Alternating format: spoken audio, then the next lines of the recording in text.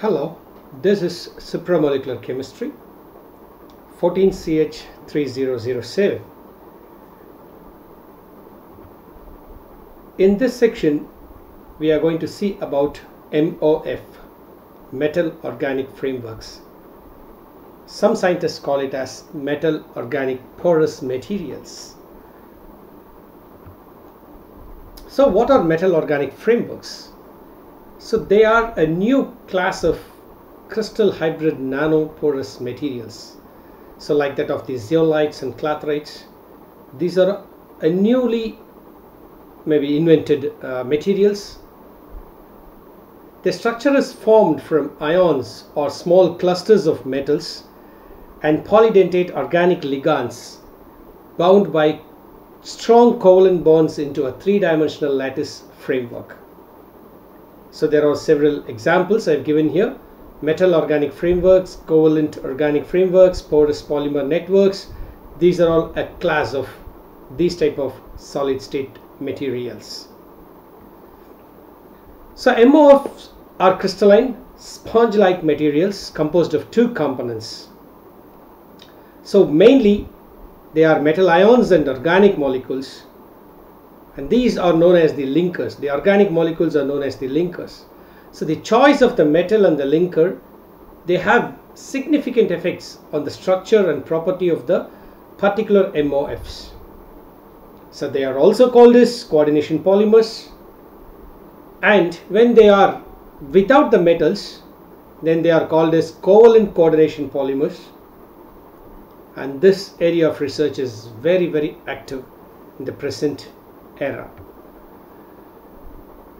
So what are all the main important applications of this metal organic frameworks when they are porous in nature? They have n number of applications like catalysis, gas storage like methane, carbon dioxide, etc., hydrogen, etc. So you need to know what you mean by porous.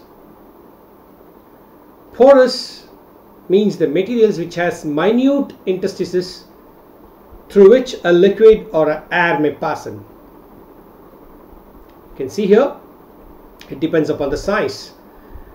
When the size of the pores are less than 2 nanometer, like that of a surface of a chicken eggshell, they are called as micropores. If the size ranges between 2 to 50 nanometer, like a carbon membrane, they are called as mesoporous.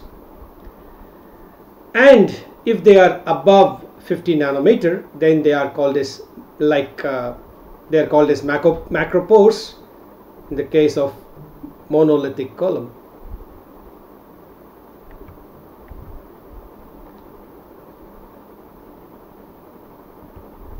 So these porous materials are they occurring in nature? Of course, they occur in nature. For example, lungs, you take bones, you take soil, you take lemons, you take sea sponge, snow, eggshells, butterfly wings, etc. Everything have porous pores or they are porous in nature. Not only in nature, there are several artificially made porous materials like that of paper, clothing, chalk, brick, sponge, concretes, ceramics, bread, etc. So what are microporous materials? A microporous material as we saw before they contain the pores with the diameters less than 2 nanometer. Examples are activated carbon, zeolites, MOFs, COFs, microporous polymers. So the design and synthesis this of these MOFs they are related to the discrete metal architectures. They can be called as supramolecular architectures. Some aspect resemble methods which are employed in zeolite and clathrate formation. But zeolite are size restricted due to their constituent parts. Artificial system have fewer limitations. So the ligands of varying shapes and size can be synthesized and used to connect between metal nodes to form large voids within the crystal lattices. In fact, the use of the basic building blocks to build up functional materials, they are readily linked to the bottom-up approach which is utilized in the nanochemistry. By utilizing this type of bottom approach methodology of synthesis, there are many voids which are left in the walls of the channels through which the guests may pass rather than forming structures with isolated packet of guests.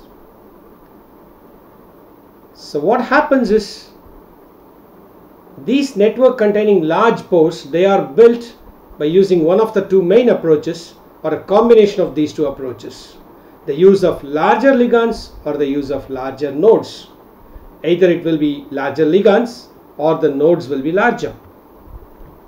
How do you design a metal organic framework?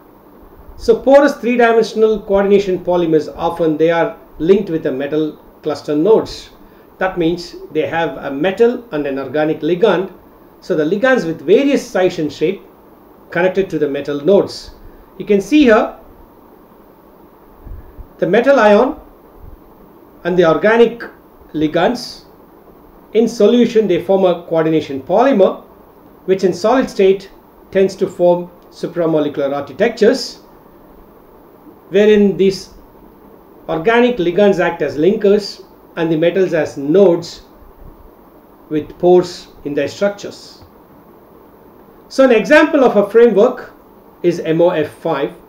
The framework consists of carboxylate octahedra. You can see here benzene dicarboxylate with zinc carboxylates, octahedral zinc carboxylate clusters as nodal points and benzene 1,4-dicarboxylic acids as the linkers. So in contrast, these traditional clathrates, generally like urea, trimesic acid clathrates, they collapse when you remove the guest. But in this case, it is not. So these are some of the representative MOF structures MOF 74 have high carbon dioxide adsorption. so it is made up of a dicarboxylate dicarboxylate similarly with the help of a tricarboxylate HKUST-1 and then MIL have been used for high catalytic activity for Friedel-Crafts benzoylation. Some more you can see with the help of benzene dicarboxylic acid MOF5 is constructed and it has an unique pore expansion and contraction upon guest molecules. That is, when the guests are there, it expands, and the guests are removed, it contracts, which helps in the gas storage. Then UiO66, which is a zirconium based MOF, it is shown here. So, how do these MOF synthesis MOFs are synthesized? There are different methodologies a few are listed here like solvothermal or hydrothermal. So depending upon the solvents which you use or water and you heat it up and then microwave assisted. Then sonochemical with the help of sound, then electrochemical method and just by grinding mechanochemical and even ionothermal, dry gel conversion and microfluidic methods. But the most followed method is solvothermal or hydrothermal synthesis. So they have broad industrial applications because of two key attributes. Because of extremely large surface area and flexibility with the structures they can be varied. Because you know the linkers can be varied the metal nodes can be varied. So you can able to get different type of structures. And also they are very robust with high mechanical and thermal stabilities so they are largely used for host guest properties such as gas absorption anion exchange and chemical separations so we have seen a brief note on metal organic frameworks, how they are synthesized and certain examples and their applications. I will meet you again with metal organic frameworks with its guest absorption properties in the next set of slides. Thank you.